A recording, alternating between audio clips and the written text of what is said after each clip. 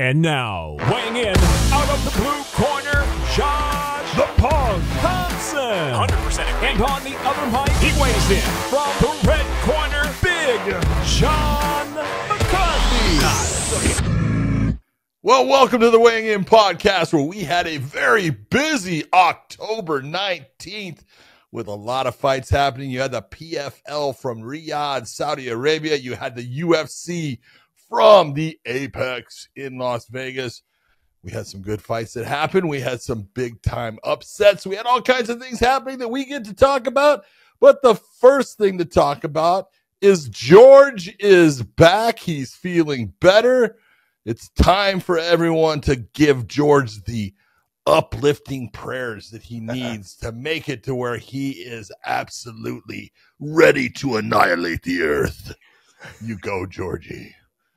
Second, we've got Josh Thomson with a Thompson jersey in the background. He's changing his background. I don't know why, but he is. And now he's got a pale look on his face. He's looking a little lethargic. Yeah. He's not the Josh Thomson that we all know.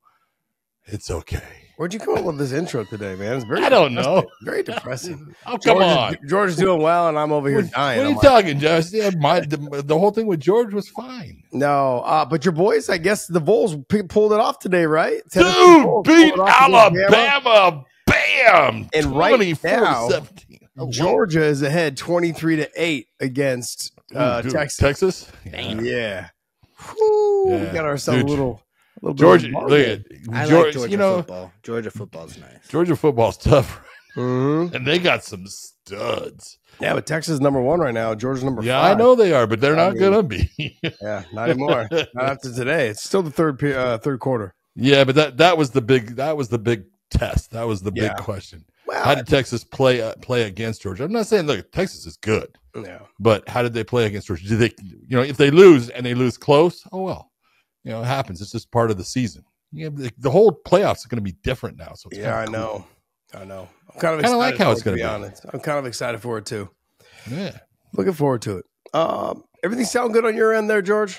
Yeah, you sound fine. Stop being Okay, I'm worried. just I'm He's a little picky, isn't he? Stuff. Yeah. I'm sorry, George. You didn't. You're not. You're not getting that from me, are you?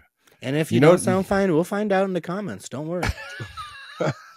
All right, guys. I have a little bit of a cough drop in my mouth, so if you hear a little clanking, Is around, that what's in your mouth? No, Got you Oh, so- shut your whore mouth over there, buddy. you shut your whore mouth over there. Um, man, we had a very long weekend uh, of fights this- today. It started early. They started Oh. really early, and then they moved on. I'm pretty. I was pretty impressed with some of the fights. Some of the fights were. Oh yeah. Well, come on. That's you can't have all of them be good. It just just doesn't happen. I wish it did. Okay. Sometimes you get those special moments where just about every fight is Mhm. freaking good. But that's Yeah. rare. Today wasn't those that one of those days. No. Today wasn't one of those special moments. But No, hard fought. Hard fought. Yeah. Yeah, Absolutely. Uh, hey, before we get started, though, guys, I want to make sure you guys all know that this episode is brought to you by BetUS. And I also want to thank you guys. Uh, these guys right here, LMNT, LMNT, been, been keeping me Oh! hydrated all day. It was You actually mean nice. this? Oh, sorry. There you go, this LMNT. Boom, Oh, baby. Which one you got? The uh, This is the, The cherry black cherry lime. lime. yeah, I like that one too. The watermelon right now is is doing me good. So, uh, Yeah, great you, product. You're, you're in love with the watermelon. I am in love with the watermelon. I you got, are. You I just got a case. I got a case of it, so I got a lot to drink. Sorry, guys. Well, speaking Um, of LMNT, we got to see a ton of LMNT commercials during the Battle of the This. Giants. Yeah. we did. They've been Almost. working with uh they've been working with the PFL. They've been working. I saw that they were sponsoring some of the fighters too. I think they sponsored um uh Austin Vanderford, I believe, Mm. in his fight uh, on the LFA last night. Okay. Yeah. I didn't even know that Austin fought Yes. in the LFA did. last Yeah, he was he fought in the uh in the in the uh for Who the did he fight he against? was, I guess apparently he's the champion. Who did he fight against? What do you mean he's the champion? Yeah. Who makes this rules? He used to What? fight in the LFA before. Yeah, so what? Okay. And I guess they were just saying that he's the, he's still undefeated uh, in the LFA, and that he is now, I guess, the champion. So either he's now or he was. I think he's just now the champion, which makes sense. Well, he's winning just- in life, that's for sure. Oh yes, he is. He married up for sure. Dude, he married so far. he started climbing a ladder and never looked down. Yeah. Good for him. That's the way it's supposed to be. I think it's hilarious because he, I, I love the fact that he doesn't care what people think and he just goes about his business and he's a cat man and he doesn't, it doesn't bother him at all. And I'm like, hey, man, you live your life, dude, because look, none of those people are paying your bills. So what do you give a shit? Okay, here's my question. Yeah. He fought in the LFA. Did you see what weight he fought at 170. instead of 185? Yep. Damn. Mm-hmm. Damn, damn. Good on I him. mean, maybe she's been starving him. Starving him of what? That slap fight money isn't coming in. Yeah. Man.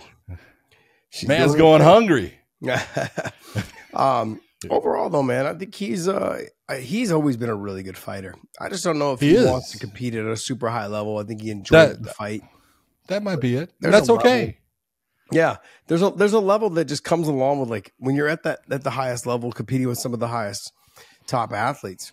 Man, there's so much more pressure that's put on you. If you can go out there and just fight and have fun, have fun with it. Maybe you know having the understanding like I'm gonna have tough fights, but I can get away with some mistakes here and there, you know, and be able to get myself out of it. So hey, whatever, man. If you're, let's just say he's making you know 20, 30 grand a fight. You know, I don't think he is at LFA, Well, I'll tell you. What? Yeah, but I'm sorry. He ain't making. Look, he. It's not like he was the main event of the LFA. I think he. I think he started off the main card. Oh, did he? Isn't Isn't that what it was? Yeah, he was. uh I don't believe that he might not have been the start of Mink, but he was down the list Yeah. of uh, fighters with it. Interesting. So he he he wasn't making a whole lot of money. I know Eddie well. Yeah. Eddie still owes me Oh. money. Ed Soares. Yeah. Yeah, yeah, yeah, yeah. Uh, look, let's let's go ahead and just d- deep dive right into the uh, the UFC. Uh, do you want to talk UFC or you want to talk PFL first? I think we should talk. Well, let's let's go with the UFC since it was just it Just is on.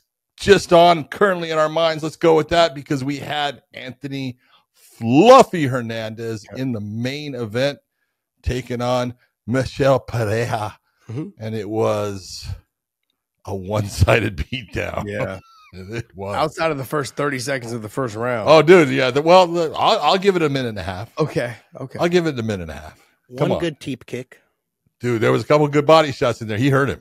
He did hurt him. Oh, You could see it. It was like, oh yeah, uh, he's not breathing. But he's tough, and we knew he was, and that was the whole point.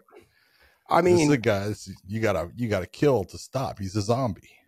Yeah, come forward, just walk you down, come forward, and he's just putting pressure. And, and guys like Michelle Bahia have a hard time dealing with that. They don't fight well off their back foot. They don't handle pressure as well. And as you start to feel that pressure, your conditioning, your cardio start to go out the door. And he was never a cardio king. I mean, you Oh, just see the two of them inside the cage. Oh my Michelle god! Bahia looked like a looked like a, a, a light heavyweight. and he used to be 170. It's nuts, man. He is He's- so big. Hey, did you hear Anthony Hernandez talking at the end of it? No, He goes, dude, he was so strong. He goes, I go, well, I'm not, I'm not going to get regular takedowns on this guy. no. That's No. like, well, at least you were smart enough to figure it out soon. You know, I really admire Paul Felder's commentary. I love because he's like, look, he just keeps him guessing. He's got him moving. Like all of what Paul says, there's no fluff behind it. It's just all reality. The reality is like you're getting a true break fight breakdown commentary, and I enjoy that because I want to, even though I know I'm seeing it, I want to see what you're seeing, and I want I want you to kind of translate it to me like as if I'm a five year old trying to understand what's going on. And Yeah. that's exactly what Paul does. Paul does a great job of that. No, So I- I enjoy Paul's, listening Paul's outstanding at what he does. Yeah. He's he's he's easy to listen to. He doesn't he doesn't oversell it, and that's I think that's the real thing that I like out of what he does. You know, he, he gets behind you know what's happening in the in the in the cage, but he doesn't oversell it. You know, Yeah. when something's happening that's exciting, he you know he gets excited. But when something's happening, you go, yeah, it's not a big deal. He, he doesn't get, oh, he's, he's, Yeah. he's got the guillotine. No, he doesn't. Stop. You know, and so I, I do Yeah. appreciate him. There was some of that when I was watching the PFL. Oh my! And I was like, "Gosh, God. calm down, guys. It's not even close. man! I tell you what, if you listen to, I don't know, Yeah. never mind, never mind. We'll talk about we'll talk about the PFL here in a little bit. Uh, look, overall, look, I thought it was a great fight between the two of them. Uh, and even though it was one sided, but Fluffy showed a lot. He showed a lot in terms of what he can do. It's hard to deal with those big guys. They're not the easiest guys to finish. Michelle Behe got up like he was frustrated that Herb stopped the fight. I'm like, what are you frustrated about? He just saved you from getting your ass kicked for another minute and a half. Herb Herb did what a referee is supposed to do in the yeah. fact that as a referee, you're watching someone who t- name me the rounds that he won. Okay, maybe if you want to go, he won the first round. Okay. He didn't win the second. He didn't win the third. He didn't win the fourth. You know that. And you're watching someone that you can sit there and say, okay, he hasn't won a round since the first round. Does he have a puncher's chance here in this fight? Well, not off his back. He does. He's, you know, he can't land anything. That's not going to work. So he doesn't have a puncher's chance. Does he have a submission attack that he's got a submitter's a chance? No. He's got no submission game for Anthony Hernandez that he's going to do anything. He had one chance at a at a guillotine if you want. That didn't work. And now he's exhausted. His arms are full of lactic acid. He can't do anything. And so the whole point is where is he at? What's happening? And yeah, there's time left in the round and how much time and do I need to see this guy get beat any longer so it goes to a decision instead of me stopping it making it hey you're not fighting intelligently it's a TKO it's better for the athlete even though maybe they don't like it it's still a loss and it's the right thing to do to get them out this as soon as you can instead of letting them take more damage. He's already taken enough.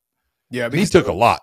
A lot of fighters they won't just turn over and give you their back. A lot of fighters won't just uh No, and he didn't. Yeah, he, he fought through it. There was a couple times where he was not going to concede that submission. Most fighters no. would turn, give the back, or most fighters would turn and give him the side choke. Hernandez was searching for that side yeah, choke. Oh, he was looking for it. Yeah, he wanted absolutely. That. Uh, it just wasn't coming. And I think the strength of Michelle Behe was coming through. No matter how tired he is, he was still physically strong. And you could just see the size difference when they were standing inside the cage. I was like, holy shit. These and Michelle, Behe, he used to, used to fight at 170. Yeah. He fought a guy named Tristan Connelly, who was a 145 pound fighter at 170. And Tristan won. It's like all because he was cutting too so much weight, he gassed out. And I'll give him credit. At, at 185, he went the, he was going the five rounds. Yeah. He went into the fifth round. He was getting his ass handed to him as far as the beatdown, and he kept on coming back. So that's not easy. That's not easy to do. Well, guys, look, I want to also say that we kind of gave you a little, I wouldn't say faulty information, but man, my gut told me that Fluffy was going to win by submission. I had him also winning, so I picked him straight up on my Bet USA or Bet US. USA. I did the same. My Bet US odds is I had him winning straight up. I think it was was that plus 135 i think is what it was. And then also yeah. to win by submission. For me I think it was a minus 135 minus one. My, sorry minus 135 sorry my apologies. And for me to uh to for him to win by submission. Which was a plus 175 plus one i had it at 185 really? Well mine was i think i did my video i want to say that's bullshit. Well i did my video a day before you so the odds changed. People took my advice and the odds went down a little bit. And people, people lost because they lost money, man. Hey, so not I. as bad as I did Tyler the same Phillips thing. bet. I did. The, I did the same, man. I did the same. I had I had him say it. I had it parlay that to a, a oh. one plus one seventy five for a submission win because I thought that was the way he was going to get him. I thought so too, and it was definitely not. Yeah, I mean, I was uh, my whole take was that if Fluffy could survive the first round, all he had to do is survive. That was it. Minute and a half. He didn't well, survive the first round, just a minute and a half. Yeah. And uh, man, he looked phenomenal after that. Just kept putting putting the pace. I, would you say there's a little bit of like a Nick and Nate Diaz in Fluffy? Absolutely. Yeah, absolutely. Know, coming from where he's at and everything, you look at him, you look at the way he fights, you look at, you know, he doesn't have quite the same attitude, but he's yeah. got attitude. Yeah. You know, he's got attitude, you know, when he's in there and stuff, he's a, he's actually a classy fighter and, and Nick and Nate are both actually classy as far as, you know, if, if you haven't done anything, you know, dirty to them, they're, they're classy as far as the way they fight. So, I think he's very much like them. I think you know he's got the same type of uh let's say gas tank. Yeah. He's got the ability to push the pace on a fight. He's got he doesn't have that major power, but he's got volume and he's got a great submission game. So I think he's absolutely a guy that you can look and you the parallels all match up. I think also too that they kind of somewhat attract the same fan base. Yeah. I I, I think it's just No I- doubt about whether it. it's the tattoos, whether, whether it's the haircut, I don't know, whatever it is. But I feel like Haircut. the same type of fan base. Yeah, he's got that nice little, you know, uh, fade. Little, uh, I was, I was fade going to say. Nick and Nate don't have any kind of fancy. No, I get it. Yeah, they don't have any fancy. No, they just they have a nice little fade on the sides. That's it, man. But I mean, They're like clean. overall, he the guy fights his ass off. I love it. He was uh he did everything right. Uh let's go ahead and move on to Rob Font and Kyler Phillips. Yeah, I'll tell you what, man. You know, this the first round went exactly like I thought the fight was going to go, and it was obviously uh, we talked about on the feet. I thought Rob Font is actually a little bit better. You know that uh, he's got a little bit more of the pure boxing to him. He doesn't throw a ton of kicks and stuff. He's throwing more, but his boxing is really sharp. His hands are good. He takes a good shot. But I thought the ground was going to be the difference, and if he hit the ground, I thought Kyler would be all over him in the first round. It was uh, just like I thought.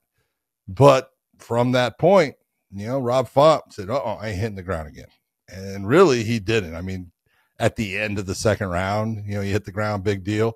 He uh, kind of hit it a little bit, you know, in the third, but right up, and he took over with his stand up, you know, and Yeah. he had the cleaner striking, and he deserved the win. You know, the 29-28 was exactly what it should have been, and I don't know if it's the difference of what you know Faraz has brought to him, or you know, it was just you know the change ignited a little bit, you know, back. But he looked as good in that fight as I've seen him in his last couple of fights. Uh, I thought I thought things were were pretty noticeable right off the get when they both came out. That Rob Font looked like he was more muscular than Yeah. Kyler Phillips. He looked But like that's he looked like he was the stronger fighter. He also looked like he was the bigger fighter. Um, and I'm not, I'm not, I haven't seen that before from him, like against other guys that have fought him in that weight class. I feel like he's just been equal with them, or maybe even a little bit smaller, or just slightly. He looked a lot bigger with his back size, his hips, his his his legs, and everything. He looked like the bigger fighter in this fight, and you could tell because when Kyler Phillips got a little bit more tired after that first round, not doesn't take much. You could No. tell that Rob Font was just bullying him around then. Like, Yeah. no, he was able to muscle his way through things. Yep. Yep, I can muscle my way through things. You can't get in deep enough on it. If you are, I'm just gonna whizzer you off. I'm gonna fling you off, you know, like I would a little child on my leg. And that's kind of what it felt like. It looked when I was watching, I'm like, wow, Rob is just manhandling him, literally like manhandling Yeah. him. Oh, dude, in the second round, shocking. especially. Yeah, it was shocking. Second, and it was the contrast of what you watched all through the first round, except, well, let's say that you know he got up in the last thirty seconds. We'll say, Yeah. you know, and you know he went after him, but he couldn't get that round back. So, but he carried that thirty seconds into the second round, and man just turned it up. Look, that was, in my opinion, the way I, the way I look at that fight is that's a veteran fight. This is when we talk about veteran fighters taking on the young up and coming guy. And is that young up and coming guy ready to fight a guy that has fought and has all this experience and can change directions in the fight? Yeah. And that was really what Rob Font did. He changed the direction of the fight, and Kyler Phillips couldn't match it after dominating the first round. Yeah, Kyler Phillips was well, the biggest betting odds uh, came from him, and so he was. I think when they were showing the odds, they were saying he was a minus five seventy five. I think Oh, you and I looked at the odds; it was like four twenty though, four twenty five. I think. I still like wouldn't that. do that. Yeah, but I mean, you know, we were we were looking at it, and I was like, man, that's just too rich for my blood. If I was going to put Yeah. money down on him, doesn't matter. I would potentially go the other way though with Rob Font. It's obviously Sure. easier said than done now. You know, hindsight's 50-50 and all. So I would have just been, hey, you know, let's throw 10 bucks down, 20 bucks down on Rob Font. That's what I've always talked about. Anytime you have an opportunity where someone is such a heavy favorite and you know that the other person has a good chance of winning as well, throw, throw a little bit down 10 bucks, 15, 25 bucks. Yeah. If you throw 50 down, you know, you're making 250 somewhere around there. So it would have been worth it at that price. Um, you know, but uh Rob, man, I got to be honest. I don't know, like you said, if it was uh, uh, Faraz or not, but he came out confident. I think the the the, the way his corner was talking to him was kind of settling his nerves. He Yep. looked really good. He He looked really good. My as- my whole my whole knock on him, John, has always been use a little bit more kicks to help set up your hands, and use your hands to help set up some of your kicks because Yeah. he's he's so skilled, you know, and he's physically strong. I mean, look, he was he was putting it on Chito Vera. You know, Chito ended up getting a title shot and all these other things. Like, like Rob is right there. Oh yeah. So I mean, we know a, a little nod here or there, or having a good moment in a fight in a, in, a, in a round gets him right back up to where he should be in terms of being in the top four or five. He looked fantastic tonight, and uh, you know everyone had betting against him. I think that just kind of motivated him a little bit more. But good stuff for him, man. Very, very, uh, very good, very great performance. Great yeah, performance. great. Absolutely, I agree. Especially after you. losing the round he did, the way he lost the first round. Oh, just you know, trust me, yeah. controlled and That- dominated. That's That was the one that you know when you're going back to the stool, you're going, son of a bitch. yeah. What happened? You know, yeah. But obviously, no problem for him. Charles Johnson taking on Su Mudaerji. It was a good fight. That was Yeah. a, it was a back and forth. Uh, I'm, I'm not too sure Charles Johnson won it though. Ooh, It was close. It was. I, am okay with it. Yeah. I'm okay with it. But I was, I'm just like looking at it and I was like, man, Charles Johnson took a lot of shots. Su Mudaerji had his moments. Charles Johnson had his moments. And he did almost it looked like finish him. Yeah, you know, absolutely won that round. But there was some good there was a, the it really comes down to the first round because the third round was won by Su Mudaerji. The second round was won by Charles Johnson. So it's all in who you gave that first round to. So and it was a close round, but good fight by both of them. You know, here's the thing with Charles Johnson is it makes it hard to judge his fights because he moves so much. He's so herky jerky, twitches, fast twitch. You know, a lot of feints, a lot of movement, but not a lot comes out.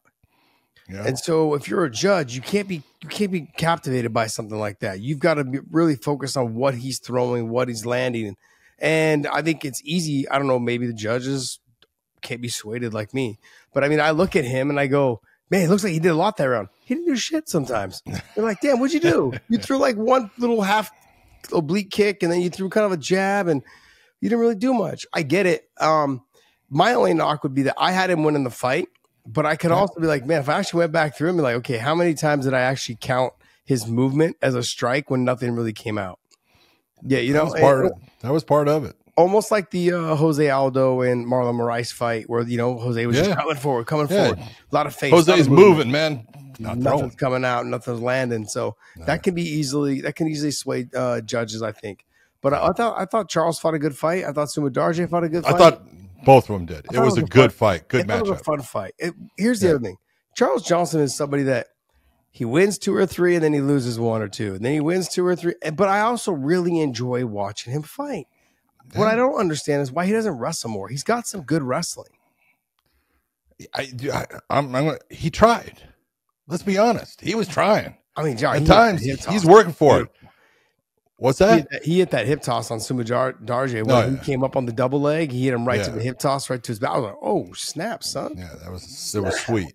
That Yeah. was beautiful." Yeah, that'd be like he I was trying through a like, lot of it, and I thought Su Mudaerji was he was he was negating a Yeah. ton of what he was doing. He was. he So was. and and and I I'm being honest, I was super impressed with Su Mudaerji as far as this is probably why I thought he was doing so good. His his defensive wrestling has gotten so much better. Mm. And then even when he was on his back, dude, he was throwing up submissions. I loved, you know, you you're always talking about two ferrets. Mhm. It was two ferrets going after it. They were they were going back and forth. That was a that was a nice scramble between the two. So, but really fun fight. Yep. Next fight. Ah, we had Cameron Smotherman taking on Jake Hadley, and I, got to give Smotherman credit. He took this last second. He's a replacement fighter, and he came in. He fought his ass off. He took some big shots. He gave some big shots. I really enjoyed watching him. I thought he overall his volume was way above Hadley's. His his ability to, to land, and he he landed some hard shots at times. He took some too, but I thought you know coming in last minute, if you're going to come in the way he did, he put on a great performance. Uh, you're saying he came in the last minute. He came in on three days' notice. You know he can't. You know where he came from, right? What do you mean came from? He can He was actually in uh, Riyadh getting ready to corner Raufeon Stots and flew. Oh my Riyadh God, you're kidding me. No, I didn't know that. Yeah, that uh, Raufeon Stots just put out a press thing after his fight today saying that, yeah, Cameron Smotherman was with me this week. He had to fly out when he got the call. He's gone. Well, I know you know because he was, he was on the. I, I watched him on the Dana White's contender, and, I, and he lost that. You know, and I was like, the, the kid's good though. He's fun to Yeah. watch. And then all of a sudden, I see him. He's fighting Jake Hadley, and I was like, I remember that kid, right? Mm. He's good. He's a tough kid. Let me go back to do you think that eye poke should have been at one point? it was the second one, and if you're looking at the way it happened, you know, it didn't have it happened. He it's like he was throwing his hand out as an offensive thing, and then his fingers are out. It's like you can't have that. Yeah. Most of the time, it's in a defensive fashion. You're trying to back away, and your hands going out to stop somebody. That is not what happened. And since with the way it was, I'm all for the one point deduction. Got it. Got it. Uh, yeah, I thought he fought good. I thought he looked clean and crisp for someone who just got off the plane coming from Riyadh. you know, and then showing up and having to That's amazing. That I did not know that he went all the way from Riyadh to Vegas Yeah. to do that fight. That's amazing. That's amazing. And, and th- jet lag, just all that other stuff. Then making None of that. and then like, what a stud. Yeah. Uh, next fight. Darren Elkins taking on Daniel Pineda. Well, we said that we thought this was going to be, you know, this is two older guys, but it's going to be a good fight. It was a good fight. It was a good This fight. is this is a scrap, man. Darren Elkins is, he's, you know, he's got the damage tattoo, and he is damaged. he is absolutely. He puts out damage. He takes damage. But if you were going to look, it's normally Elkins that's got all the cuts and everything at the end of the fight. It was Daniel Pineda, and, and, you know, and those were in looking at you know what occurred. Daniel Pineda was winning that first round that he got cut. yeah. But boy, by the end of the fight, it looked like someone had taken a razor blade in there. His forehead was open, his eyes were closed, with cuts above him. I mean, he had, he looked like he got in a knife fight. I mean, he chased that that first arm guillotine or that guillotine he had, And it was tight. round, and it was tight, and It oh, was just kept tight. moving out, jiggling out, turning to his side, turning his neck. He, he eventually scrambled. He got to the top position. I was like, "Holy shit! This is why they call you this wild, whatever it is, this crazy kid." Because he just kept moving and kept moving, and finally wiggled his way out of there. I was so. I, I got to be honest. I was like, "Man, he's done. He's done. They're still dry. He's No. done. Nope, nope." And then he just started kind of mounting his comeback as we saw. It was a which he's done so many times before. Just mounted the comeback and came in strong and finished second round, third round, very strong. Overall, though, man, really fun fight. Definitely a way to open up your card. Oh yeah, and you. And I want to say this because Daniel Pineda put down his gloves, said it's his last fight. Mm. God bless him. He fought in the UFC, he fought in Bellator, he fought in the PFL, he fought in Elite XC. I remember him back for Wow. with that. You know, he's the guy that you know he has fought everywhere. He's put on great performances just about everywhere that he went. Sometimes he didn't win, but he put on a great performance. He's a tough dude. He's a very good coach, and I hope he sticks with the coaching now too, and just takes that as his next career. Yeah, I think we look. We just had Michael Bisping on, and we were talking with him too. Like fighters, we I don't think. Not a lot of us want to own gyms. I wanted to own a gym. I opened my gym before I was done fighting, and, you know, so I could help build up clientele and use it as a platform to do it. But if if you don't want to own your own gym, which I highly don't, I highly recommend not owning one. Um, I just simply tell people like getting involved in coaching, it does a lot for your mental health. It, coming off of a fighter, getting attached to the getting attached to the some of the teammates that you have, being able to give them a little extra attention that they're not getting from the from the main coaches, and then building your rapport with them. Like look, King Mo, uh, Mike Brown, you know, like these coaches are, are coming around. They're former fighters, and they're give they have a lot of input to these these younger fighters, and I think it's definitely an avenue to race into. I mean, if I if I had not moved from from uh, California to Texas, man, I mean, there's not a whole lot of MMA gyms here. I know that Fortis is down the way, but it's still about an hour and a half away. But um, you know, I wouldn't have minded moving into Florida and just being around Kill Cliff or being around American Top Team or being around like just for just to be inside the gym. You know, I love that, man, because right now I feel like a fat slob pig. But it's uh, you know, but it, it does That's because you've been looking at Justin Wilcox's Instagram. Jesus, man. This Holy shit. Jeez. The silverback has not changed. it's disgusting. I hate Oh, that it's, he's hysterical. man. It's he's so he's such a great guy though. He's one of the there was, but there was a guy, I swear to God, in the PFL that was on the. I looked, I go, oh my God, yeah that dude looks like Justin Wilcox as far as body is 145 pounder. He's got so much muscle on him. Jeez, man. Yeah. Small I sent you a text. Tell me that dude's not taking a page out of Justin Wilcox's Yeah. It's insane. Exercise book. Justin's in his forties. I'm like, how the hell do you look like that still? Fucking jeez, man. All right. Anyways, I, I told you guys I fucking hate this guy. Send you bitch. Uh, n- any other fights on here you want to talk about? I know, like. there was Go ahead. There was a couple, but uh, Jean uh, Ma- Matsumoto Oh, against Brad Katona, dude, hell of a fight. Great fight, man. Matsumoto Hell of a performance. Good. He needs to he needs to kind of figure out how not to get so tired carrying all that muscle for such a body a small body frame. But he seemed like he started to slow down significantly in the end of the second and into the third. You know, but uh, overall, I thought it was a really good perform- performance by him. He's a, he's a tough fighter. Both of Oh, them yeah. too. Katona was Because a very- Katona's tough as hell. yeah, he could take some shots. Boy, I'll tell you. Yeah, because you could tell like uh, Matsumoto had the power, uh, and he was like kind of stalking and stalking, and then he kind of became the one being uh, stalked towards the end. Oh yeah. You know, and Katona just took all the big shots and then started putting pressure on him towards the end of the fight. It was a good fight though, really good fight. It I was, was. texting you going, "Hey man, this is a really good fight right now." Yeah. So overall though, good. Uh, what else you got? Anything else on here? Nah. Nah. It's all good. All right, guys. Well, hey, that's going to wrap up our UFC talk. And like I said before, this episode is brought to you by LMNT. LMNT, stay salty, my friends. Stay salty right Stay here. If you want to check out their product, they've got the cherry line, they got the watermelon, they got the citrus. Sorry, they have the raspberry, they have the grapefruit. John likes the grapefruit. I like the grapefruit as well. They are definitely best served cold. So if you can buy them in the cans as the sparkling, absolutely a great, amazing product. John and I both drink them. And uh, I look, they're good and they're good and they're safe to give to your kids too. If they're playing sports activities, my son had a soccer game today, then he had a football game right after. So he popped about a half a can of the LMNT. Felt good going into his football game ready to go. It was about 85 degrees at like 10 a.m. today. So it was uh it was getting a little hot. Also, too, make sure you guys subscribe to us over at OnlyFans. We're continuing our partnership with them over there. And uh, I'll be doing an extra live over there. Um, we did a live last week. I know a lot of you guys missed it, but I'm going to be doing another live probably before the end of the month. And I will go ahead and let you guys know. We also have a lot of interviews dropping the next week, this week, next week, all these other things that are coming around. So we've got some big, uh, some big interviews that we've been uh, keeping in the can for a second, and uh, we've got some that are dropping this week, and we're going to drop some more next week. So hope you guys enjoy the extra work we're putting in for you guys. I want to thank you guys so much for continuing to support us. Join our membership program, four ninety nine, so you guys can win some um, giveaways.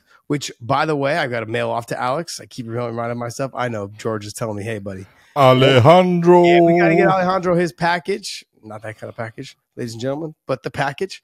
Uh, because, you know, like, look, YouTube does not like when people say they're giving giveaways and they don't actually give them away. So we will be doing that, making sure that Alejandro is getting his package. So subscribe to us over uh, here on YouTube as well. Four ninety nine for the giveaways, $1.99 for our super chat, so we can make sure we get to you guys in the questions. We do lives on Tuesday night. Don't miss it. Uh, John, let's go ahead and jump right into the PFL, my man. PFL had their uh, Battle of the Giants from Riyadh, Saudi Arabia. I'm not going to even look at anything as far as below the main card. But if you, unless you want to talk about Raufeon Stots, but let's start off with the main event of the evening was the Battle of the Giants. We had Renan Ferreira taking on the man in his comeback, Francis Ngannou, back in an MMA cage instead of a boxing ring. And this one went quick, just like we thought it would. yeah, I figured we figured it would go quick. I mean, if you're going Yeah. to choose the under on this, it was a pretty safe bet. I felt like if you choose the under at say one and a half, I think is what it was. That's what we said. I would have taken the under. And um, you know, I thought Renan Ferreira, like had he go ahead and threw some kicks because his kicks landed well, Francis' kicks landed well. Um, he seemed real hesitant to throw a, sh- a punch though. And I didn't I didn't get that part of it all. Like your only way to victory is by knocking him out. Throwing his throwing your hands, Yep. And making him have a problem. with Francis, we found out his way to victory was takedowns and ground and pound. Did we not say that though? Yeah, yeah. I mean, I thought he could win on the feet as well. We both did. No, no, he could, but we said the big difference is Yeah. Francis will wrestle. Yeah. He will take him down, and if he takes him down and gets on top, Renan Ferreira is going to have a, a hard time getting out of it. And that's exactly how it played out. I mean, you're taking a look and going, you cannot be, and and and this is what people don't seem to understand. You cannot quantify there the huge difference between a 145 pound fighter, 135 pound fighter, 125, and a heavyweight as far as being on the ground and that punching power and what it does to someone. You can't be on your back or have your stomach down on the ground and being hit by a heavyweight, especially one like Francis Ngannou. You can't. You, the human body can just can't take that kind of torque Yeah. and you know you can take more of it as a 125er because of the the amount of power coming is not near as much and so you, it takes more shots Renan Ferreira took a lot and I'll tell you what he took too much Yeah. I'm going to tell you straight out that fight should have been stopped He got oh, hurt. Oh, yeah. He would he went out, and then still shots were coming and stuff. And it was like, man, he was not in a position. As soon as he went, dude, look when you see his dick hit the dirt, there's a reason why. Okay, he's fucking done. He cannot fucking handle what's occurring. Some, some men are bigger than others, John. Maybe his dick just hangs in the dirt. Who knows? um, when I your mean, I- hips hit the ground the way his did, it's over. And I don't I don't want to interrupt, but huge Yes, shout you out. do. That's why you are. Okay, I want to interrupt. I want to be famous. No, uh, huge shout out to Francis. He lost his son. He came out. yeah. He did that. It's, I cried. I, I I mean I'm emotional, but yeah, it, it it touched my heart, and I can't imagine coming out there and trying to perform after your first knockout loss. You lost your son. There's all these doubts in your head. Like, bravo to him. For you cried today. I cried a lot today. You're a fucking white white. You're a white boy for Kamala, huh? Sometimes, That's all right, sometimes man. until it gets to voting. No, I'm kidding, man. I'm kidding. I just saw a video today of someone saying, Oh, dude, there's one guy that put out a, a white men for Kamala thing. I was, was- dying, man. I was laughing my ass It was off. great, man. I was laughing. Right. Anyways, no, I agree with you 100%. I know that's not a funny moment, but I had to say it because you were like, you said you were crying. But I agree with you, man. It's, There, I, I've been through there's nothing worse. nothing worse I, than burying a child. Parents are not supposed to bury their children. Not that I would know, but like, you know, like I said, I've, I fought literally 10 days after my dad died. I fought a little over 10 days after my grandmother died, who was one of the ones that helped raise me. And so it's just, it was very difficult just doing that. Now, having to bury a child, I can't even imagine, man. I can't even imagine. And uh, you could see the emotion on his head and, and you know in his eyes when he was giving his speech afterwards. And uh, congratulations to him though, and getting it done, moving past the fight, you know, but knowing that he had to get it out of the way. Like now he can go ahead and rest for a little bit and and get focused on you know moving forward uh, in his own personal life. So good for him, man. He's he. I've only met him once, you know, and just in passing at Extreme Couture, and I've Yeah. seen him in passing. I was in Riyadh, you know, we said hi and uh, we just passed each other. That's it. But I mean, I don't. I think as we walk past him, right? Like, I mean, I'm at like belly button level, so he probably doesn't notice me half the time that I'm walking past him. So. Uh, you know, but like I said, head for head, he had a chance. Had he thrown punches, he never got off. He just waited. That's like a batter sitting in the batter's box and just letting the strikes go by. You can't you can't hit a home run. You can't get on base unless you swing, buddy. I mean, you can get on base. You can get walked, but the chances of you, uh, you know, getting walked are pretty slim. He's got he's got to go ahead and just let the hands go. I got. I Um, have a. I, you talked about size, and this is what people don't realize is. um Let me see if I can find it real quick. I'm sorry because it's No. funny. This is a picture from. There you go. So this is Rashad Evans. You know, Miesha Tate, my wife, and me, right? And I don't know if you can see it, but that's Francis Ngannou in the background. You can see it. Like he's just like head and shoulders over us. He's got I his mean, he's arms around you guys, like these are my Yeah, just children. like ah, you go. You look around. What's up, Francis? He's a big man. he is. He, he's a he, he is a wonderful person. Uh, someone everyone keeps telling me he's like a big He teddy is. bear. God damn, he is absolutely. He's got no fucking ego, none. You know, you know what's funny is I think the I kind of fell in love with him as a person. It seemed like, and I had never really met. I hadn't even met him yet. Was uh, there was a video of Dan Ige, like ripping his body shots right into his gut, and Francis and Dan were just. They, it was just a great video to see of the little tiny guy that they, you know, they all train the same gym, and you know Dan laughing and stuff. And Have you ever of have you ever seen him with uh I think it was right it was Ryan Garcia. But he had a he had a body shield on. But you know, he lets Ryan Garcia just hit rip him with everything he has multiple times with you know his left hook, which he Ryan Garcia's got a great left hook. Yeah. And he's just ripping bap bap bap bap. He goes over to the right hand. Francis is like yeah, ripping him. He's ah. yep. You look and you go, yeah. he's a he's a he's a big strong man. He's a beast. Uh, all right, then you got uh, Cyborg was able to uh, she ended up going the distance with Larissa Pacheco. Yeah, and you know, I I actually thought this fight was going to go a long ways. I thought you know both of them would have power, but both of them were smart in the stand up. I actually thought you know, and it went very similar to what I thought that you know. My whole thing was I thought Cris was just a little bit better everywhere. I thought her technique wise in the stand up just a little bit better. Uh, you know, I thought Larissa definitely has power. No doubt she could hurt, you know, Cris, but Cris has power, so it goes back and forth. I thought the ground. I know they're both, you know, black, black, but the wrestling of Cyborg I thought was better, and it proved to be. Let's just be honest. You know, yeah, this fight. I did not agree with the commentary at all, and I, and I want to say that you know, if you're gonna if you're gonna be a commentator, don't be a homer. You know, because you work for the PFL and someone's coming out for their first PFL fight, I guess, as the Bellator champion. And I'm not doing saying this because of Bellator. Just be honest, because if you had listened to Dan Hardy on the commentary, you would have thought that Pacheco won that fight. She lost 49 46, and that was right. That was the right score. You know, that's what I had. Yeah. And every judge had it. So I'm like, well, I think it's pretty right. Yeah, there's uh let me uh let me pull this up real quick. This is just one of a couple that were actually on my uh on my Twitter feed. And they basically were just talking about how is it me or is there serious biasness from the PFL commentary and replay? It just seemed it. it's really annoying. This is people on Twitter basically. They're like, look, they're paying for a pay per view. They want to get honest feedback, and I understand what you're saying. You know, I really understand what you're saying. So and not that Larissa didn't have her moments. She had some did. really good moments. She did some good work. But if you're looking at the fight and watching it, and I, I'm okay with, you know, when Randy said, you know, he thought he had it two to two going into the last round. Okay. yeah, You know, I didn't agree with it, but okay. You, you gave the fourth round to Larissa where she didn't land enough shots compared and everything that happened. You had to give that to Cyborg.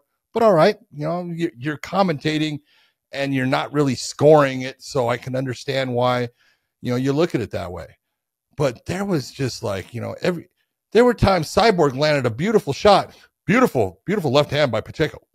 Their fucking left hand missed. What the fuck mm. are you talking about? But I don't know. But I thought it was a good performance by both. The whole thing was about look at the damage. The damage happened in the first fucking round. yeah, And it was a round that Cyborg clearly won. Clearly. And so that damage is gone. It's over. Move on to the next round. And if she gets more damage, then okay. yeah, But it just made no sense of what was being said about it. That damage is done in that first round. If it works against her, great. She loses the round. But if she doesn't and she wins the round like she did, then you got to just let it go. Doesn't Hmm. matter. Yeah. No, I agree. I, I'm gonna I'm gonna tie this all together at the very end too, you guys. By the way, is uh, there's a lot that I want to say about just the PFL event in itself uh, towards the end. Uh, but I mean, we're gonna move on to Johnny Eblen and Fabian Edwards. you know, this is a rematch. Yeah, You know, we we'd seen uh, Johnny Eblen win by knockout, you know, on the ground, ground and pound that that put Fabian Edwards out. Um, but this was a Fabian Edwards is that guy that look, he's good. He really is good. And he's getting better as far as, you know, just his ability to handle situations. It's like he never can step on the gas hard Yeah. enough when he has to. Yeah, And I don't know if that's because- his work all the time. okay and you know and you'd be better than me at saying you know is is it that he's he's thinking about past performances that he got tired or what what was it because you could tell he was in shape Yeah, the pressure that, that Eblen was putting on him you know and let's be honest going into this I, i'm looking at it saying johnny eblen should know that i have to put him on his back foot i have to force him backwards if i don't force him backwards he becomes twice as good a fighter coming forward is that not true yeah. I mean, if you didn't take anything away from the Impa Kasanganay fight, was Yeah. make him fight going backwards, and you'll have success. And in Yeah. that showed in it showed in the fifth round when he was making him fight. on. Absolutely. There you go. has success. Um, Fabian's coming forward. Look out. Yeah, and he's just hard to deal with. You know, you take a look at what he did to Lyoto Machida. Now I know he was old. Lyoto was older, but I'm saying like he was putting the pressure on Lyoto, making Lyoto try to fight, you know, off of his back foot, which he is one of the best in the game at doing. Doing. Lyoto Yeah. is, but he was just able to take it to the next level in terms of pushing the pressure and making him make a mistake, getting in the clinch, making out of the break, hitting him with the shot, all of those things. He fights his best when he's putting the pressure on. Uh, Fabian does. But for some reason, he gets caught up in this relaxation mode, fight at my pace, do what I want. And then the rounds are just ticking away and ticking Yeah, away. Yeah, you're letting them go. Yeah, it's it's almost uh, John. I've I've been around I- guys like this, You come on, it was 4-0 going into the fifth round. I know. Johnny Eblen. but I've been around guys like this that I think because when they land something very clean, like a good clean body kick, it's almost like yeah, that scored a lot. I don't know if they have that in their mind. SK one shot, yeah, but the guy just hit me with seven of them that were half as good, but seven adds up a lot more than that one. Yeah, And two so and a it- half of above you. You know, and so it's just kind of that feeling of that they are just counting the strikes in their head of thinking of these are the ones that I felt landed more for me. And then they just let the rounds get away. Oh, I think I landed seven. I think I landed 12. I think I landed, you know, these are the good shots. Okay, I kind of won that round. Because fighters do keep tabs in their head as we're going. Okay, I landed a hard shot there. He landed here. He got the takedown. I got the I got the get up. Okay, I attacked the submission. Like we we do start, you know, tallying things up in our head every round. See if okay, did I win that round? you know, but when we go back to the corner and you ask, did I win that round? Nine times out of ten, we know we lost it. You know, but I mean, Yeah. Nine times out of ten, we and the reason why we ask is we're like, we could have done more, but we didn't. And so when Fabian is in the corner, when Fabian's there, like you, he knows he could have done more, and that's been the knock on him since you know early, early uh Bellator days. It was like he's just so relaxed out there. He's making it look easy, but it was like the flow of it all. But when you get to better talent, like he's having to fight now against someone like Johnny Eblen, it's not as easy anymore. Man. It's hard. It's hard to deal with those guys because those guys can find other ways to win. Like tonight with with Michel Pereira and Fluffy, he he he's not going to let the fight. He's going to develop the fight. He's going to push the action. He's going to take charge, and that's what Johnny Eblen does normally. Yeah. But if you make you make Johnny Eblen fight on his back foot, he's not the same fighter. You know, uh, he, he's still very good, still very dangerous. He's just a better fighter when he's putting pressure. Why? Thus the nickname, Thus the Johnny nickname? Pressure. Yeah. You know, so overall though, um, Fabian Edwards, Johnny Eblen, I thought it was also too a lot more of a respectful fight. The first fight, there was a lot of animosity, a lot of trash talk, a lot of this. This fight seemed a little bit more serious, a little bit more to the nitty gritty of like, look, we're here to win. That's Do me it. a favor. Tell me, because the score was 48 47. Mhm. What round did Fabian Edwards win at before The fifth. fifth round? only the fifth round. I don't know. I don't know which round. Okay. I couldn't. I couldn't tell you. I'll have to go back and look to see the scorecards. I don't think. like, you, good luck, dude. I don't. Think, I don't think there was one round that he won. I don't think there was more than two. I don't think there was more than a minute and a half in any, any round that he won. okay. He just didn't do enough. I, I thought the same thing, but Yeah, unless you missed something. Uh, this is the guy you were talking about, Zafar Mohsen versus. this is uh, this is the this this is Silverback two. yes, Justin Wilcox number two with a little bit Justin more of a Wilcox now has an equal in the 145 pound weight class. This guy carries as much goddamn muscle. chance. I mean, it was like I was like, damn. He put on a great performance. I'll tell you Yeah. what, his judo was fantastic. He did a great job of off balancing Hussein throughout the fight. Uh, I mean, I just really was impressed by the way he went about the fight. Uh, we, I had seen Kata Magomedov uh, fight once before. It was early in his career, so I didn't know exactly you know, how much better he was. But he was 11 and one at the time. yeah, Started this fight, so I know he's good. yeah, he looked good. And then uh, I expected more out of Kadi Mar- uh, Magomedov. I thought for sure that he he just started gassing out. I don't know if it was the strength of Mohsen that kind of made him work too hard in the first round, but after Yeah. the first round, it was done. Yeah. I thought uh, Kadi Mar- Mar- Magomedov. He just looked Yeah, he looked Mayev. may have. He looked exhausted.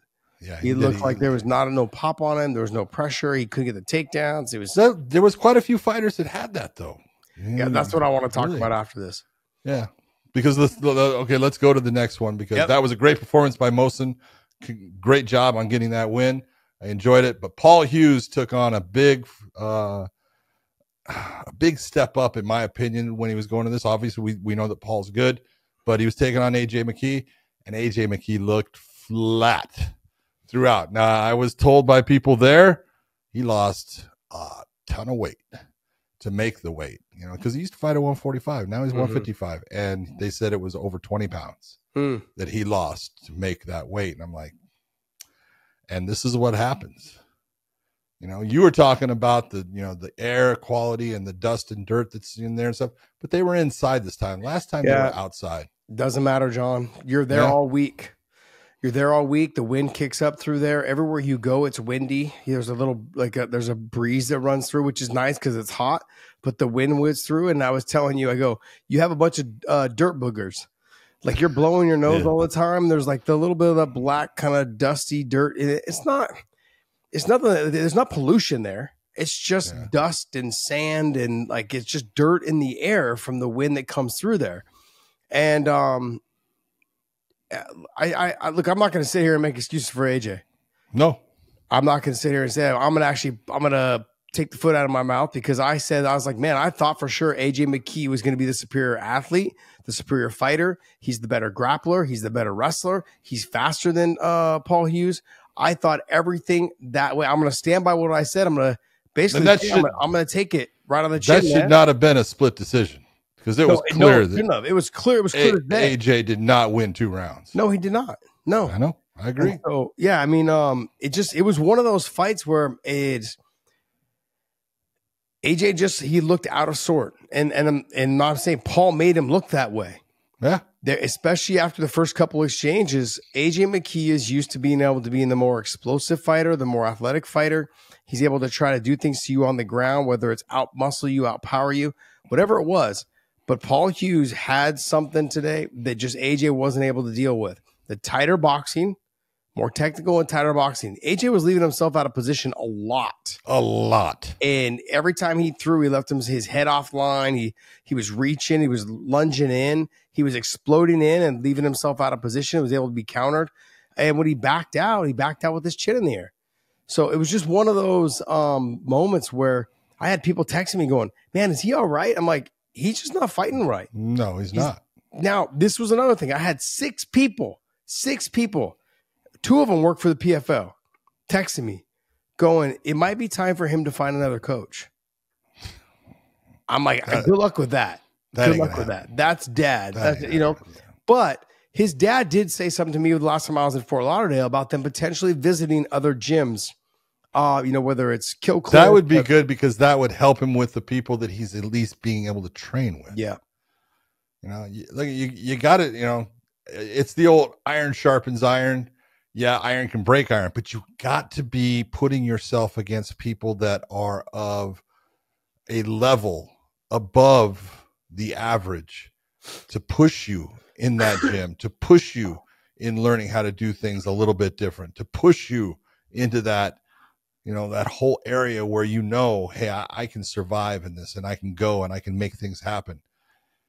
AJ, you know, uh, you know, there's no doubt AJ is the big fish, you know, in the Long Beach area in his gym and everything, and there's no one that can really give him a whole lot of problems. You can't be the kingpin in your own gym, though, John. I know that. I know that. I know that. You know, and as much as we we really do, I really like Antonio. I know you do too. He's, he's like a Love I don't want to I don't want to say uh, son because he's he's about your age, so he's like a brother to you. But you know, he's a great guy. He's a he's, He's a great role model for his son. Uh, he's already been here, done that. Like he's done all these things at his own level, you know, in fighting. Now he's getting his his son at the, at, at a high level. Just AJ right now is the kingpin in his gym, and I think that I'm not saying they need to spend all their time at another gym, but they do. I think they I do need they think they need to spend some time, whether it be somewhere Or bring people in. yeah, or bring people in. That's I agree with Bring you. people in. That can get a little expensive though, John. Yeah, well, he makes enough money. he does. But I mean, my thoughts are is stop buying Cadillacs. There you go. That's one. Stop buying the race cars. Yes, and start spending some money on you know making sure that you're getting better because tonight, and and I'm not like I said, I'm not taking anything from Paul Hughes, man. Tight combinations. It- right off the bat, you could tell that AJ was uncomfortable when he threw the body kick, and Paul Hughes caught it and then landed a shot off of that. And he's like, "Oh." Then McKee didn't know what to do, and then every time AJ threw it again, he was able to catch it and sweep it and try to land another shot. AJ was lost without that back leg body kick. He was getting a little bit lost. He's like, okay, now what do I do? Do I just box? And then when he was boxing, he was lunging in so much, leaving himself out of position. So there's a little bit of something there where he needs to tighten up the boxing because he's got fast hands, you know. But he you cannot. He's rely, a fast athlete. He is. He's explosive. But that's another reason why he could potentially be getting tired. Yeah. You know, you, you we've said it But before. we but we've seen him we've seen him go. we have seen him go. before. Five But- rounds. Okay. So that's going to lead me into my next thing. I'm going to take all these fights outside of the main event. And I'm going to say they all were not their best performances. I had several people calling me, texting me. I'm sorry, not calling me, texting me. Obviously, two of them from the PFL going, man, I thought this card was going to be fire. The fighters just all look flat. All of them. All of them, they didn't, not all of them look good. They're like, man, none of them have really lived up to what we thought. And, Well, and yeah, I, I don't know about that, but you know, I will say I thought, you know, what do you mean you don't the- know about that? because I thought some of the performances are actually pretty good. I thought the Larissa Pacheco versus Cris Cyborg fight, John, they look, they both didn't look that great into the they third round. They fought their asses off. They though. did fight their ass off. They took some shots and got cuts, and they, I, I understand that. But look, we've seen Cris Cyborg in the fifth round pushing action, trying to trying to really try to get the finish. She was backing away in this fight. Like I'm not saying that it's So because her you're, you're, you're talking about the time when Larissa tells her come to the center and she says no, come to me. No, I'm not talking about that time, John. I'm not talking Okay, about that. okay, That's smart. Right. No one, no one likes to be dog called. So yeah, I, there you go. that to me is like fuck you. I'm not walking. Yeah, fuck you. You come to where I'm at. Come I don't give a shit. Yeah. you know I, no i just i've seen cyborg fight at a, at a faster and harder pace i've seen larissa pacheco fight at a faster and harder pace i've seen johnny eblen and fabian Yeah, but that one, them- Johnny Johnny Eblen and Fabian is the natural. The second fight is generally a slower fight, not as not as action packed. It's because both guys are now in that position where they know where they're you know where they want to attack and they know what they want to stay away from, and they'll kind of stay away from stuff, which slows the fight down. i totally disagree with you i think the second fight happens all the time. There's ti there there are times. No, there's times that second fight is Josh faster, Thomson, but, Gilbert but many way faster fight. There's one. That's one. Whatever, Josh. One, and your first fight was fast. Yeah, yeah, but I mean that's just how it was. Fight fast, fight fast, just like I fuck fast. Yeah, three seconds. You're, You're giving happy. me too much credit, buddy. You're giving me way too much credit. I got two babies by the head. Uh, yes, you Now, do. Um, it just comes down to I just thought, look, Johnny Eblen and Fabian, we've seen them fight multiple times. It wasn't their best performances between the two. I agree. And and I'm gonna go back to this uh, with the Paul Hughes and AJ McKee. Uh, Paul, I thought looked good. he did. Um, didn't have to travel as far as some as the as the Americans did. You know, um, I didn't know if Cris went out there sooner. Cris Cyborg did. I don't know if she went out there a little bit more than ten days or eight days or seven days, whatever it was. Um, you know, See, uh, and I know- that's you. Hold on. We need to, we need to bring this up. The PFL's giving them those ten days, and that's a lot. it You know, because when you're talking about you know hotel rooms and and per diems and things like that, it gets expensive. But if you're the fighter and you you- you're in that position where you have fought before, going a long ways, you know, hey, I need at least two weeks. Then you need to you need to get your butt there and spend the, the four days that they're not paying for you. Take it out of your pocket. I know it's it's one of those. Wow, they'll they'll pay for ten days. If you know you need the two weeks, do the two weeks. It all goes back to like you know when you talk about Cain Velasquez and Fabricio Werdum. yeah. You know, Fabricio did the right thing. He spent a month Yep. up at that altitude. Cain spent two weeks, and you could see the difference. Oh yeah. and, yeah, and- one one is a guy that we know as a cardio monster, and the two weeks difference for Werdum was huge. Werdum also had fought there before. He was like, "Look, I went out. He went out there two weeks before, like Cain did the first time. Yes. and he's like, it was not That's enough. right, not enough. So he's like, no, we're going to go out there a month before, and it was a Yeah. huge difference, huge difference. But I'm going to go back to my overall wrap on this whole thing. Look, if they're going to, their next three shows are supposed to be in Saudi Arabia or in Dubai or in in the Middle East. No, Yes. well, hold on. Well, Japan is potentially happening. I don't think the deal's done yet. But yeah, but hold that, on. Well, hold on. They have the, the PFL uh, championships is coming up. it, that's in Saudi Arabia. Is that in Saudi Arabia? Yes. Really? Yep. I didn't know that. Yeah. Okay. So that that one's in Saudi Arabia. Then they're talking about doing just one last before they shut Bellator down. They're going to do one last champ versus champ. That'll Dubai? be in Dubai, I think. That's Yep. what, that one. That one's in uh, December. No, No, February, I think. February. Okay. Yep. Yeah, Jan- end of January or February. so that being said, um, that their next three shows, it's hard to get people to follow your fighters when your shows are at say noon on a Saturday, Yeah, Um, it's, uh, that's it's one. rougher. and then also too, all your best fighters are on pay per view, and people are like, they don't even really know your pay per view is going on. So that was another thing today. People were texting me like, "Hey, when's the PFL?" I'm like, "It just ended." Where are you saying you don't think they did enough advertising? Oh, I know they didn't do enough advertising, but that was the knock on Bellator too when we were working for Bellator. It was it wasn't enough advertising. Like you can't you can't be on Showtime. Not I don't think that I don't think Bellator did advertise enough, and I think the PFL advertised a, a whole lot more than Bellator used to. Yes, but Uh, I at least saw the the commercial with the giants of You're right. You know, but Bellator Ngannou also and- wasn't pay per view for eighty something dollars or sixty dollars or whatever the pay per view was. That's true. That's so true. Bellator, if you missed it, it was like you know it was part of your Showtime ten ninety nine or whatever it was. yeah, that's true. Look. I, I, I'm gonna. This is the last thing I'm gonna say about this is knowing that a lot more if they continue to get funding from from Saudi Arabia, knowing that a lot of these fights are going to end up probably being over there because that's what they're paying for. They want to make sure that you're bringing the talent there. They want to Sure. have fights in their in their uh, country, which I understand. Look, if I'm spending two hundred seventy-five million dollars a year to basically make this thing work, and I'm not getting really anything in return except having fights here, I might as well have it here front row so I can sit and watch it in person instead of on TV. True.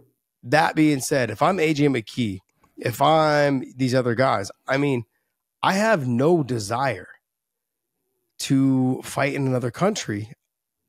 Just being honest. Like now, I know you. I know, like, like if you, there's fights here in the states, but to fight somebody that, like, like I guess, I guess I'm going to Forrest Griffin. How often did he fight outside of Vegas? Very seldom. Very seldom, you know. And when he did, he hated it. Yeah, I can. I, am I'm thinking of the Anderson Silva fight. That was it, right? That was it. Yeah, that was it. And so I know that you shouldn't you shouldn't be sitting here picking and choosing where you want to go fight and you know, hey, you fight when they tell you. But if you know that they're like towards the end of the year, they're gonna have all their shows pretty much in Riyadh.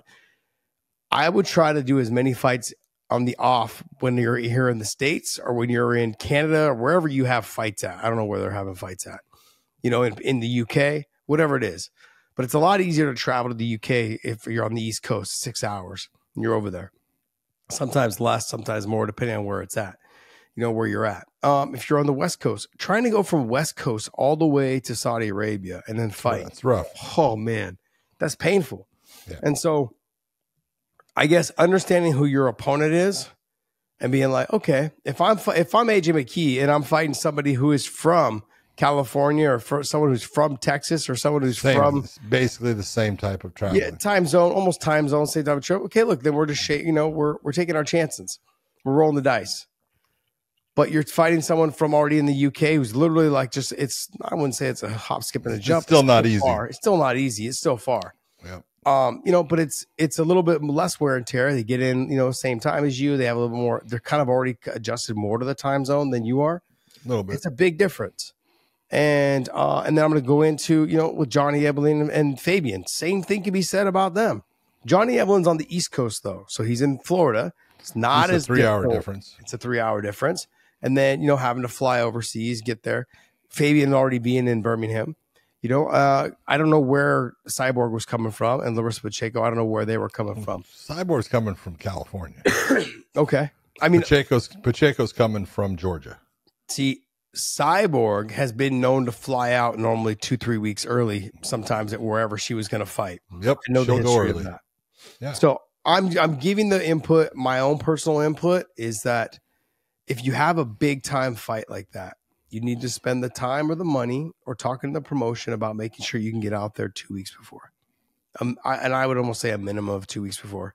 Now you may not have the training partners you need, but look, all your work should already be done that two weeks before. Your last week is just recovery, getting good food, all those things. That last hard week, it's hard to miss out on that. But if you bring it, if you bring a training partner with you, you get some good rounds in, making sure that, that partner's with you as well. You don't need to be sparring super hard, anyways, on that last week. You can spar super hard maybe that Monday or that Tuesday, and then pretty much you're done. You know, sparring hard up until the day of the fight. Giving yourself a full ten day body recover is very important. I, I don't know. I'm just speaking out loud, but what I saw from a lot of these fighters, and if you're going to continue to have more fights over there, as as like three or four a year over there, fighters start being prepared to make adjustments to your contracts that you would like to be out there for two weeks. You would like to have a uh, training partner flown out with you. Start thinking about that. You know, they're spending a lot of money on this promotion. They're dip, they're dropping a lot of money in the PFL. So if they're dropping a lot of money in the PFL, they want to see good fights. Well, if you want to see good fights, then I need to be there two weeks before because it's such a big time change. At least the arena looked like it had a lot of people in it. It So, did. Yeah. I mean, it was all blacked out on the side, so I couldn't really Yeah. see. Oh, And normally, John, you know that these fights don't normally acquire a lot of people. Yeah, but that one actually looked the the one. Here's another thing I, I thought the PFL did. They're using Michael C. Williams. Michael C. Williams is one of the best announcers. He brings class to it. I like that. Absolutely. MCW is a beast, man. I love him. He's He just get- he, classy. he does everything classy. for yeah, first top notch, top Yep. okay, so that's going to be wrapping up on our, on our PFL. And uh, like I said, this episode is uh, brought to you by BETUS. It's also brought to you by LMNT. I'm about to finish my watermelon right now. There you go. and I'm about to finish it right now. and And OnlyFans. You guys join us over there at OnlyFans. John, I was waiting for John to say it. I you you got to tell me that No, you want me to. I don't know. You normally take continuing with our that. partnership over there with them. Um, we want to thank you guys for supporting us over there. I think we got about 800 members right now. And it's rising. So I'm going to go ahead and we're going to start doing some more stuff over there for you guys. But please join us over there.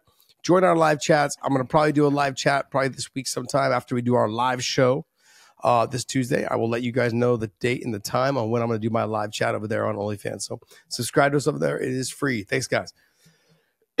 what else you got for us, George? Is there anything else? Uh, I got one thing. You sent it earlier. I thought it was quite humorous. Okay. Dominick Cruz goes off on Jon Anik. What? Yeah, I'll let you listen to it. Oh man.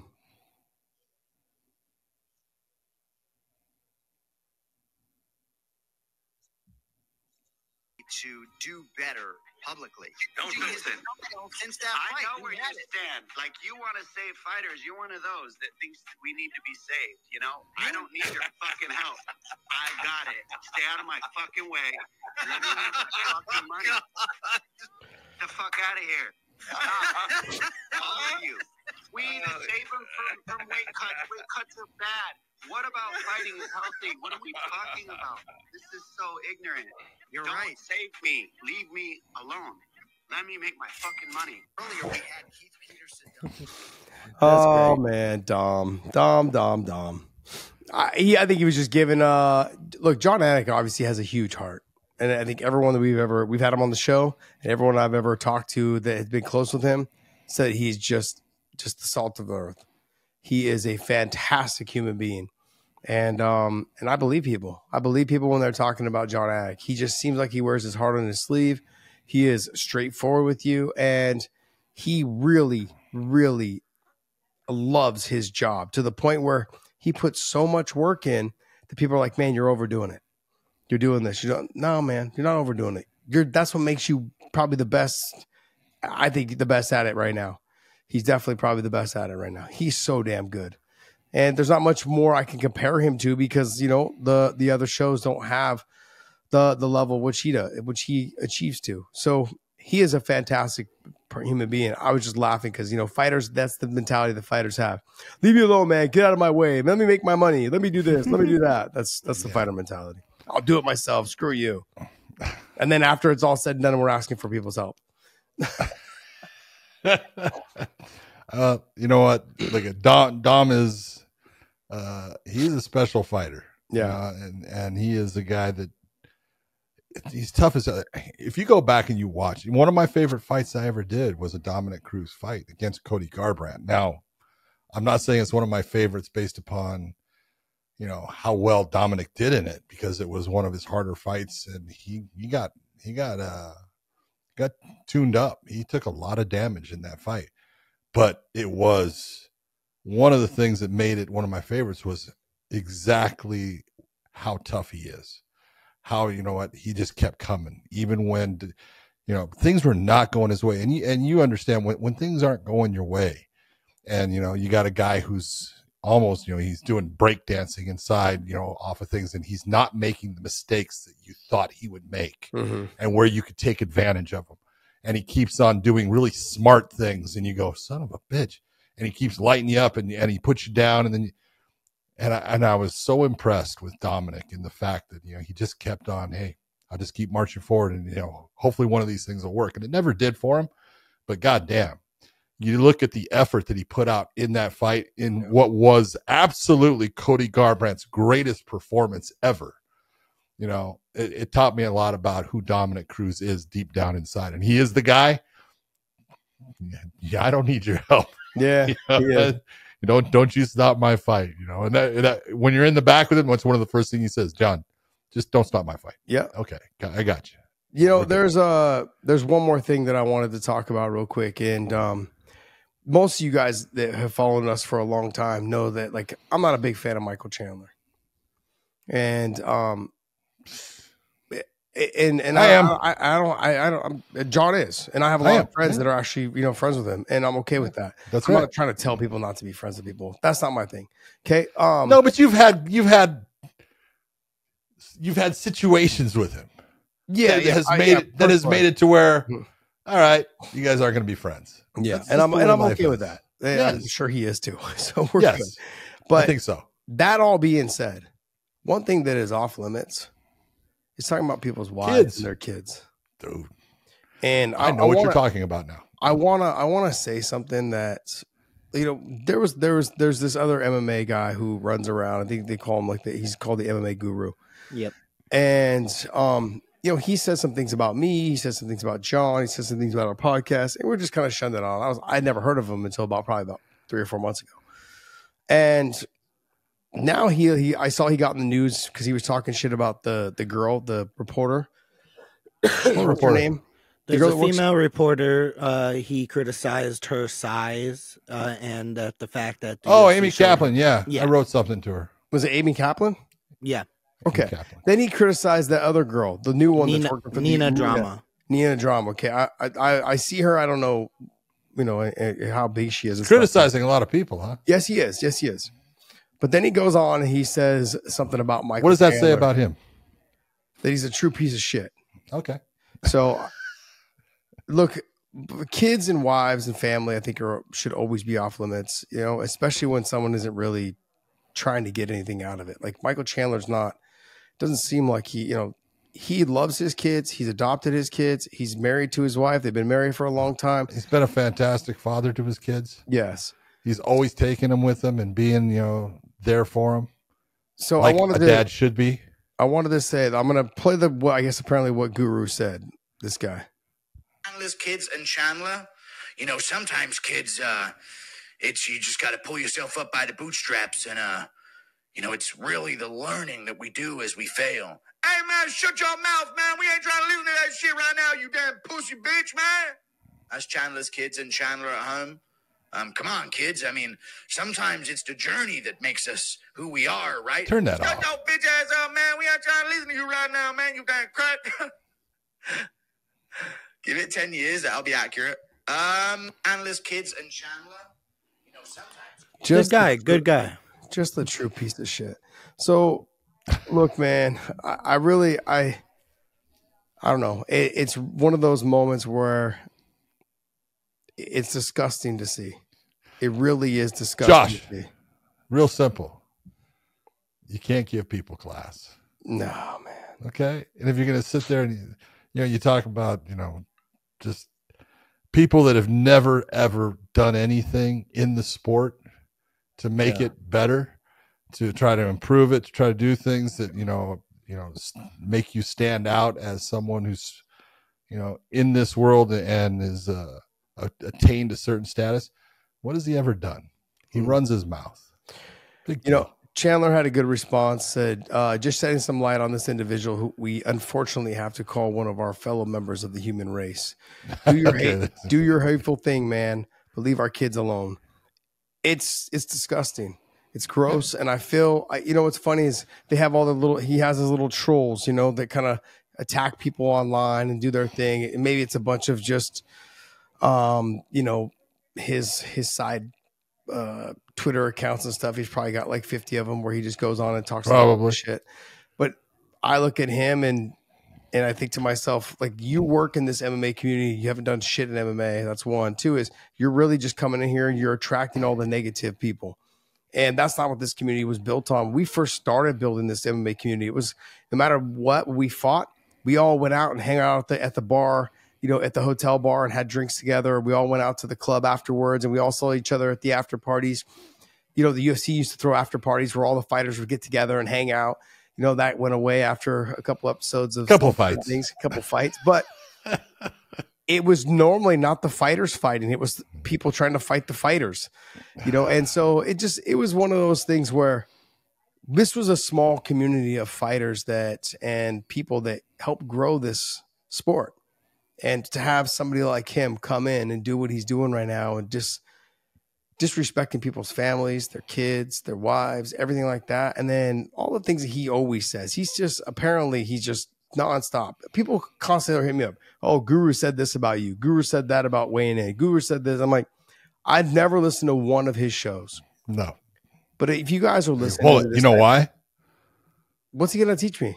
Thank you. Yeah. So what's the point? To be a bottom- wise ass. the bottom line is is if you guys are supporting this type of negative people and this divisive uh, divisiveness uh, amongst divisiveness. divisiveness amongst people like really like you're causing this look i can have my problems with people and i could chant i could basically you know take little jabs but it's not that i wouldn't say to his face and i have said it to his face but that oh, you, you met him? yeah that that doesn't mean no not him i'm saying chandler Oh. I oh. mean, my thing is like, I have said it to his face.